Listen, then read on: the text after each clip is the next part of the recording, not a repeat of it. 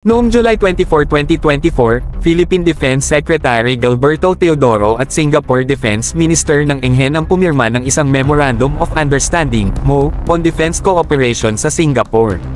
Ang agreement na ito ay magbubukas ng pinto para sa mas pinalakas na military collaboration sa pagitan ng ating dalawang bansa. Ang MO ay nakatuon sa ilang mahalagang areas ng mutual interest, kabilang na ang military education at counter-anti-terrorism efforts. Perfect timing ito, mga bro, dahil ipinagdiriwang din natin ang ikalimamput-limang anibersaryo ng ating bilateral ties ngayong taon. Patunay ito ng matibay na pagkakaibigan at strategic cooperation sa pagitan ng Pilipinas at Singapore. Siguro naaalala nyo na dati, interesado ang Singapore na magkaroon ng Visiting Forces Agreement VFA-like arrangement sa Pilipinas. Huling nabanggit ito ni former Defense Secretary Delphine Lorenzana ilang taon na ang nakalipas.